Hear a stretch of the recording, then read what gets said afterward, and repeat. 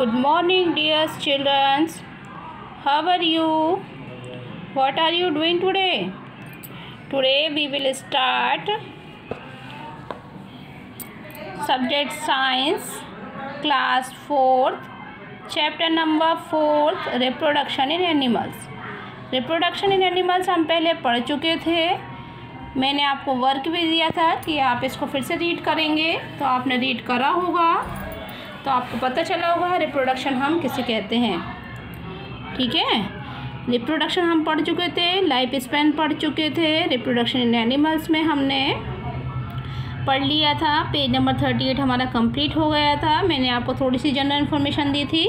एक बार मैं फिर से आप रिप्रोडक्शन रिपीट कर देती हूँ।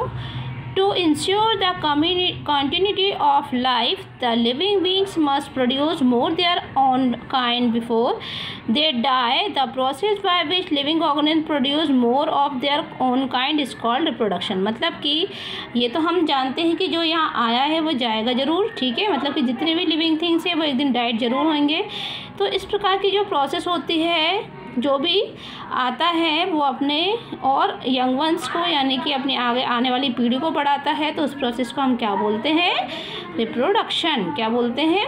Reproduction animal that lay egg animals जो होते हैं, वो क्या देते हैं? एनिमल्स जो होते हैं, वो अंडे देते हैं। जैसे आपने देखा होगा birds female birds lay egg in their nest they build their nest by using आपने देखा होगा कि कोई भी वर्ड से जो अपना नेस्ट है, वो किससे तैयार करता है? पेड़ पत्तियों से, तिनकों से, क्लो ओल्ड क्लोथ जो रहते हैं उनसे मर्ड से ग्रास से, इन सबसे अपना नेस्ट तैयार करते हैं। फिर पेरेंट वर्ड जो रहती है उसमें अपने एग देती है, फिर वो कुछ दिनों तक उन एग के ऊपर बैठती है हैचिंग की प्रोसेस होती है। वो जो एग है, उनमें वार्मिंग की प्रोसेस होती है, अंडे गर्म होते हैं, गर्म होने के कारण वो जो की वार्मिंग की जो प्रोसेस होती है, उस प्रोसेस को हम बोलते हैं इक्वेशन इसके बाद में आपने एग तो सबने देखा ही होगा। एग की जो ऊपर की कवरिंग होती है, उसको बोलते हैं हम आउटर सेल जो कि वाइट कलर की होती है बहुत हार्ड होती है। अंदर जो येलो पार्ट रहता है, उसको हम योल्क बोलते हैं। और उसके अंदर जो वाइट पार्ट रहता है, उसको हम एल्बुमिनम बोलते हैं, ठीक है? और जो ग्रोइंग बेबी इनसाइड एग होता है, उसको हम एम्ब्रायो बोलते हैं, ठीक है? तो ये आपको एग का मैंने पूरा डिटेल बता दिया था, ठीक है? येलो पार्ट के अंदर भी एक छोटा सा स्पॉट आपको दिखाई देगा, जिस स्पॉट को हम एम्ब्रायो बोलते हैं। तो ये डायग्राम में आपको पूरा दिखाई दे रहा है। आउटर जो सेल है, ये बहुत हार्ड होती है और वाइट कलर की होती है। अंदर ये येलो पार्ट रहता है, इसको योल्क बोलते हैं। और ये वाइट वाइट रहता है, इसको हम एल बोलते हैं। ठीक है? जो येलो पार्ट रहता है, उसके अंदर एक छोटा सा आपको स्पॉट दिखाई देगा, इसको एम्ब्रायो बोलते हैं। तो ये मैंने आपको क्लियर कर दिया था। ठीक है? इसके बाद में मैंने आपको हैचिंग की प्रोसेस भी बता दी थी। Now continue page number forty page number forty में आपका दिया है फ्रॉक फ्रॉक की लाइफ साइकिल आपको दी गई है. A female frog lay hundred of eggs at a time in a lake और अ पॉन्ड जो फ्रॉग है, वो एक बार में हंड्रेड और उससे ज़्यादा एग जो है, वो देती है कहाँ पर? पॉन्ड और लेक तालाब में और किनारों मतलब जो लेक छोटी छोटी झीलें रहती है, वहाँ पर आपने देखा होगा, मेंढक तो हर जगह पाए जाते हैं तो ये अपने एग वहाँ पर देते हैं। This cluster of eggs are called spawn जो फ्रॉक के एग होते हैं, उनको क्या बोलते हैं? स्पॉन बोलते हैं। The eggs are surrounded via jelly तो जो उनके एग होते हैं, वो किससे सराउंडेड रहते हैं? जेली से। यानी कि क्लिप चिपा सा पदार्थ रहता है। Like substance that protect them the young ones of a frog is called tadpole तो जो छोटे छोटे बच्चे रहते हैं, जो अंडे में से बच्चे निकलते हैं छोटे छोटे उनको हम क्या बोलते हैं? Tadpole a tadpole does not resemble a frog it looks more like a small fish जो टेटपोल होते हैं, जब वो थोड़े से बड़े होते हैं तो एक छोटी सी फ़िश की तरह दिखाई देते हैं। It has a long tail but has no legs इनकी टेल होती है, लेकिन उनके लेग्स नहीं होते हैं. इट ब्रीथ थ्रू गिल्स जो फ्रॉग है, वो सांस किससे लेते हैं? गिल से लेते हैं इन वाटर वाटर के अंदर. And it swims in water and eats water plants ये क्या करते हैं? वाटर में तैरते हैं और उस अंदर वाटर के अंदर जो प्लांट्स होते हैं, उनको ईट करते हैं। After five weeks the tadpole loses its tail after मतलब कुछ फाइव वीक्स के बाद में टेडपोल जो है, वो अपनी जो पूछ रहते हैं, उनको रिड्यूस कर देते हैं। ये आपको दिख रही है?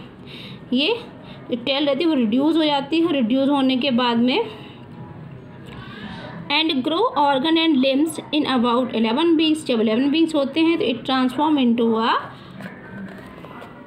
fully developed frog eleven weeks में आप देखेंगे कि वे फुली टेडपोल बन जाता है। This complete change is form an organism from the young stage to the adult stage is called metamorphosis ठीक है? मतलब कि इस प्रकार की जो स्टेजेस रहती है, सबसे पहले जो एडल्ट फ्रॉग है, जो फ्रॉग अंडे हैं, अंडे इसका जो ऊपर का सरफेस होता है, इसमें जेली सब्सटेंस रहता है।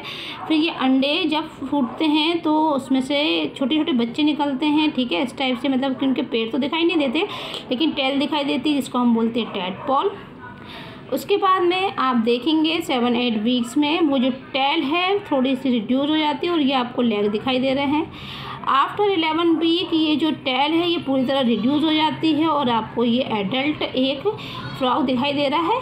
इस टाइप का एक कंप्लीट फ्रॉक बन जाता है। तो ये पूरी लाइफ साइकिल दी गई है किसकी? फ्रॉक की। तो ये स्टूडेंट बहुत इंटरेस्टिंग और बहुत अच्छा चैप्टर है। अगर आप इसको बहुत अच्छे से पढ़ेंगे तो आपको बहुत अच्छे से हर चीज़ समझ में आएगी। ठीक है? हम एक साथ इसलिए नहीं पढ़ेंगे क्योंकि ये चैप्टर भी बड़ा है, इसमें फ्रॉक के अलावा और बहुत सारी लाइफ साइकिल्स दी गई हैं। इन लाइफ साइकिल्स को आपको एक एक करके पढ़ना है। अगर हम एक साथ पूरी लाइफ साइकिल पढ़ लेंगे तो सब क्या हो जाएगा? सब मिक्सअप हो जाएगा और आपको कुछ भी समझ में नहीं आएगा।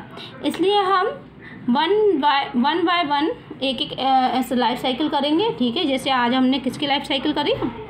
फ्रॉक की लाइफ साइकिल फ्रॉक की लाइफ साइकिल को आप अकॉर्डिंग टू डायग्राम पढ़ेंगे तो आपको बहुत अच्छे से समझ में आएगी।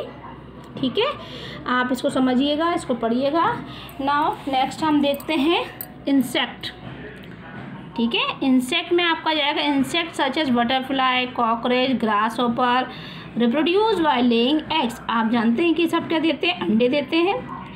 The eggs undergo various stages of development before transforming into an adult insect. So insects insect also undergo metamorphosis.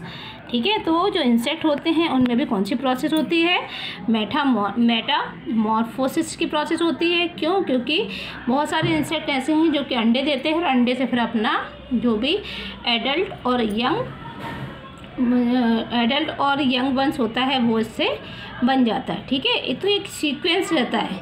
The sequence of development that take place in an animals from the embryo to the adult stage is called life cycle ठीक है? मतलब कि कोई भी एक sequence के according animals जो है एम्ब्रायो से एडल्ट स्टेज में आता है इस स्टेज को हम क्या बोलते हैं? लाइफ साइकिल क्या बोलते हैं? Life cycle Insects such as cockroach and grasshopper typically go through three stages of development during their life cycle. Therefore, they are known to have an incomplete metamorphosis during this time time period the egg of insect transform into a form called a nymph मतलब कि Metamorphosis की process तो सभी insect में होती है लेकिन कुछ इंसेक्ट ऐसे हैं जो कि, कुछ इंसेक्ट ऐसे हैं जो कि ड्यूरिंग दिस टाइम पीरियड कुछ टाइम पीरियड के बाद एग जो है वो उनके किसमें ट्रांसफॉर्म हो जाते हैं। इंसेक्ट में ट्रांसफॉर्म हो जाते हैं तो उस प्रोसेस को हम क्या बोलते हैं? निम्फ क्या बोलते हैं? Nymph it does not have wings उनके विंग्स यानी पंख नहीं होते हैं। The nymph shed its out covering number of times and change into an adult this known as moulting ठीक है?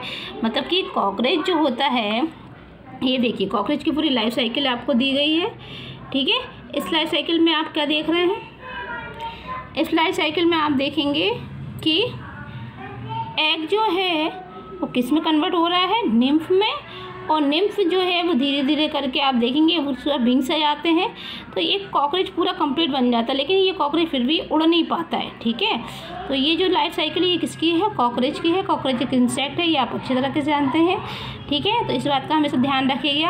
A complete metamorphosis has four stages of development first egg larva pupa और adult ठीक है?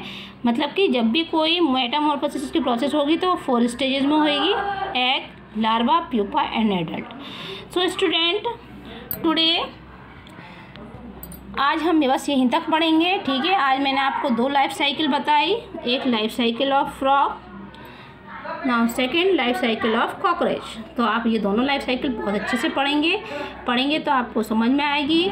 Next day की class में हम life cycle of butterfly पढ़ेंगे तो इसको आप पढ़ के रेडी रखेंगे। जब आप पढ़ लेंगे तो आपको बहुत अच्छे से समझ में आएगी। ठीक है तो आज हमने दो लाइफ साइकिल पढ़ी नेक्स्ट डे की क्लास में हम दो लाइफ साइकिल पढ़ेंगे। ठीक है, इसके बाद हमारा चैप्टर हम धीरे धीरे करके एंड करेंगे, क्योंकि आपका चैप्टर इसमें लाइफ साइकिल्स ज़्यादा दी गई हैं। अगर हम एक साथ पढ़ेंगे तो सब मिक्सअप हो जाएगा। ठीक है क्लास तो जो भी आपका होमवर्क रहेगा, वो आपको व्हाट्सअप के थ्रू सेंड कर दिया जाएगा। बाकी आप अपनी कॉपीज़ कंप्लीट करते जाएँगे। कॉपी में सिर्फ़ आपको क्वेश्चन आंसर लिखना है स्टूडेंट्स बार बार आपको रिपीट करवाया जा रहा है, ठीक है? और बुक की एक्सरसाइज आप बुक में ही करेंगे। Okay now class is over today